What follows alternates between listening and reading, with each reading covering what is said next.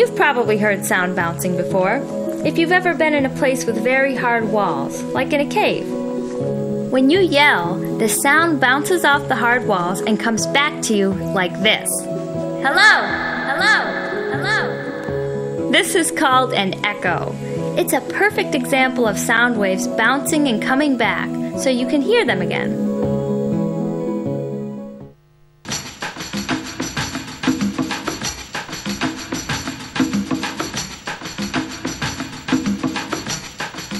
The neat thing about science is that it can take you to some great places. In a show about sound, you might wonder why I get to swim with these fun creatures dolphins.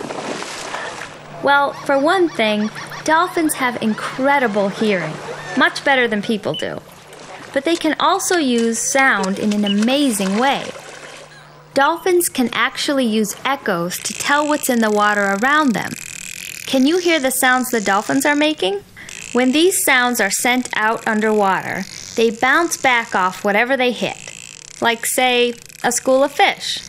By listening to the echoes, dolphins are able to tell exactly where the fish are and even what kind of fish they are. Now that's an incredible use of sound. Dolphins aren't the only ones who use echoes to find things. Did you ever hear the expression, blind as a bat? Well, it's true. Bats can't see well with their eyes, but like dolphins, they send out special sounds that bounce back off the things around them. By listening to the echoes, bats can get a pretty good picture of the world around them. And people use echoes to find things too. Not with our ears, like bats or dolphins, but with special equipment.